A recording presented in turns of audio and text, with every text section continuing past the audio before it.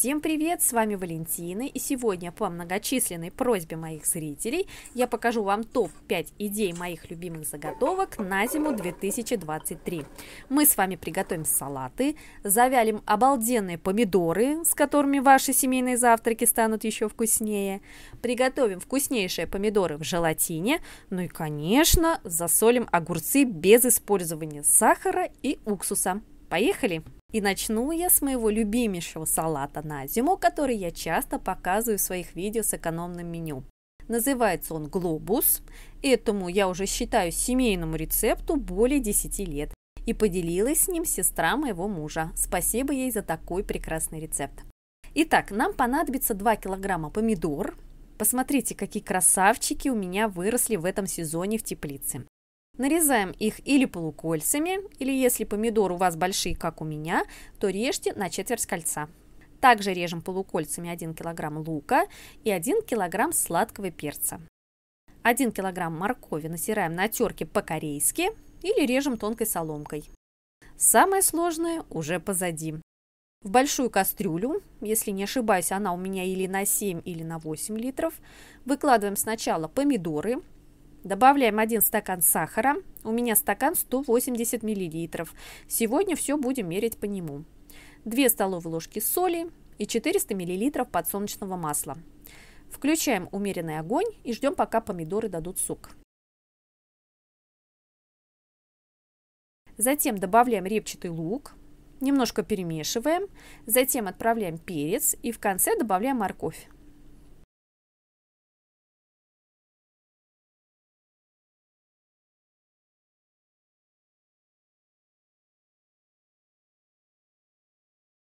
Через 10-15 минут вся эта красотища закипит. Газ убавляем на минимальный, накрываем крышкой и варим примерно 20-25 минут.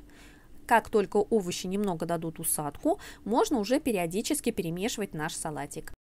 За 5 минут до готовности добавляем 100 мл 9% уксуса.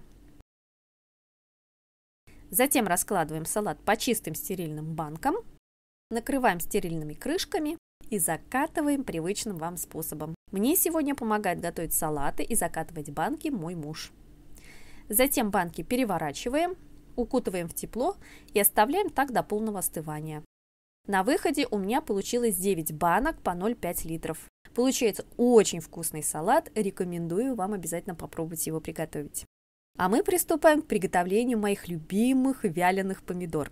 Я рекомендую использовать помидоры небольшого размера. В основном я использую сливовидные сорта. Они плотненькие и не очень сочные внутри. То, что нужно. Помидоры я промыла. Здесь у меня полтора килограмма. Отрезаем у них плодоножку и разрезаем пополам. Можно мякоть убрать, так они приготовятся быстрее, но я вам скажу по моему опыту не намного и быстрее. Поэтому я оставляю с мякотью. В емкость добавляем 3 столовые ложки подсолнечного или оливкового масла. Добавляем соль по вкусу и любимые специи. Я добавила сладкую паприку, итальянские травы, можно добавить сушеный базилик, но я добавлю свежий базилик непосредственно, когда будем закладывать всю эту красоту в баночку и заливать маслом. Перемешиваем, оставляем так на 2-3 минуты, а затем выливаем подготовленную смесь в помидоры.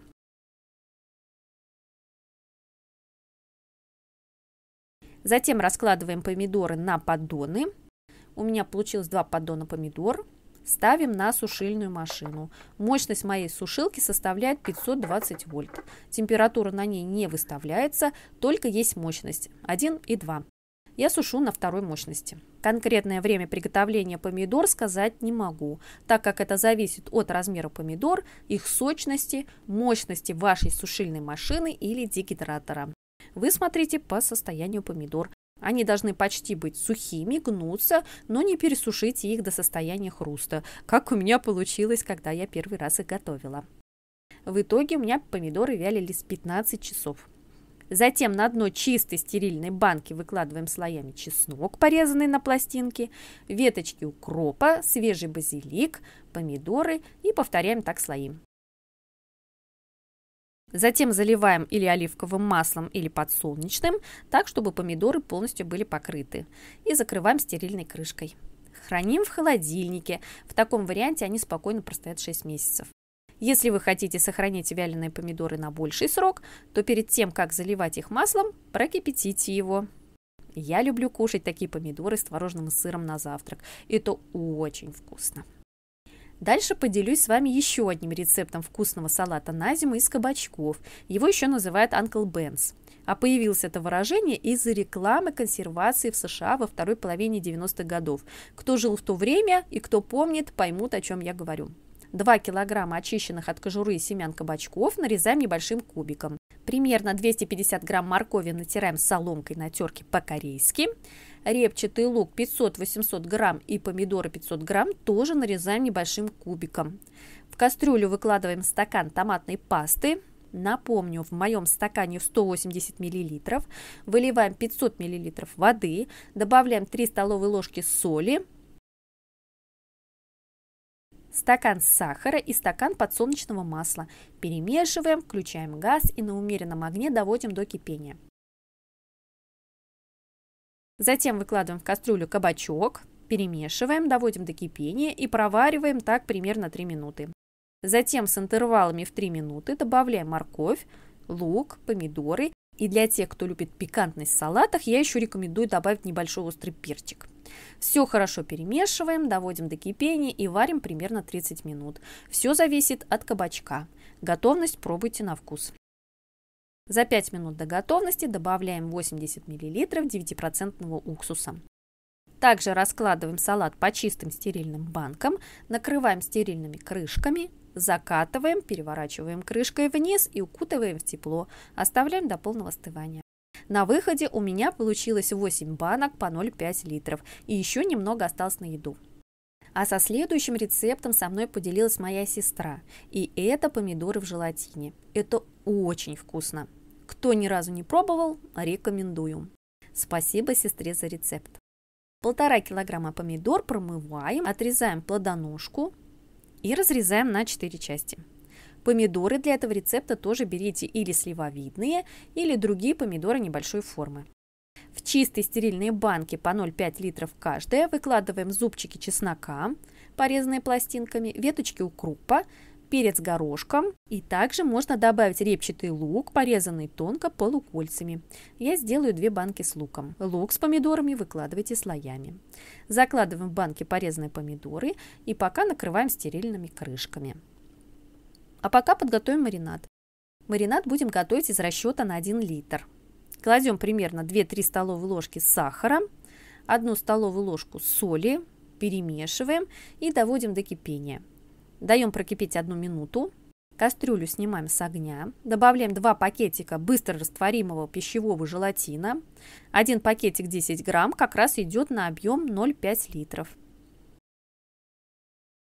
Перемешиваем его до растворения и в конце добавляем 1 столовую ложку 9% уксуса.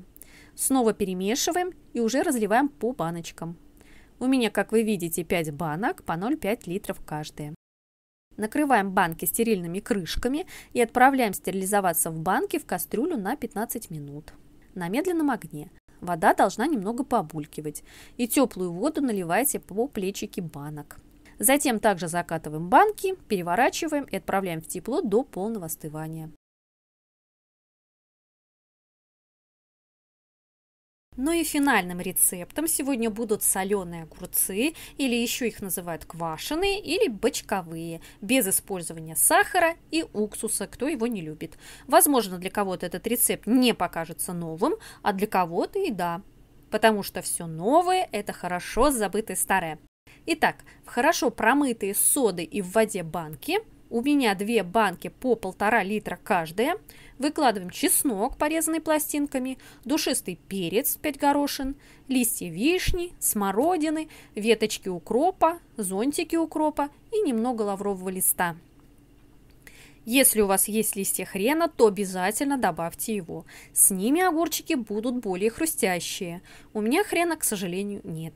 Выкладываем плотно в банку огурцы. Огурцы я предварительно замочила в холодной воде на 2 часа, а затем хорошо их промыла.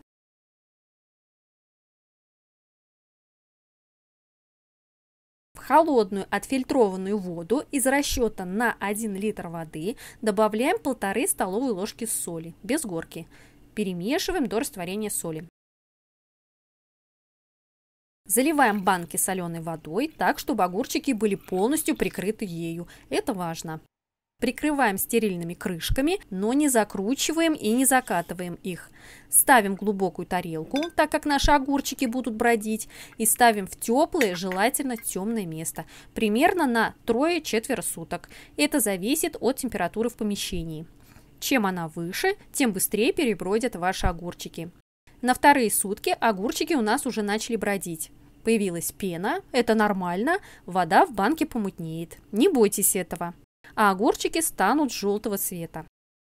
У меня огурчики приготовились на четвертые сутки. Вы увидите, пена начнет уменьшаться, активного брожения уже нет. А это означает то, что огурчики уже готовы, и их можно кушать или пробовать на вкус.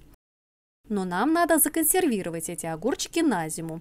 Для этого сливаем маринад в кастрюлю, а банку прям с огурцами ополаскиваем под проточной водой. И это нужно для того, чтобы смыть вот этот образовавшийся во время брожения мутный осадок на дне и на огурцах. Рассол доводим до кипения, пену снимаем и даем прокипеть на медленном огне 5 минут. Заливаем огурцы маринадом, накрываем крышками и закатываем привычным для вас способом. Переворачиваем для того, чтобы крышки обдались кипятком. Накрывать не обязательно. Банкам даем остыть и храним дома при комнатной температуре. И если вы все правильно сделали, рассол через некоторое время у вас станет прозрачным. Если вам хочется продолжение второй части заготовок на зиму, а мне есть что еще вам показать, давайте наберем под этим видео 2000 лайков, и вторая часть обязательно выйдет. До новых встреч, всем пока-пока!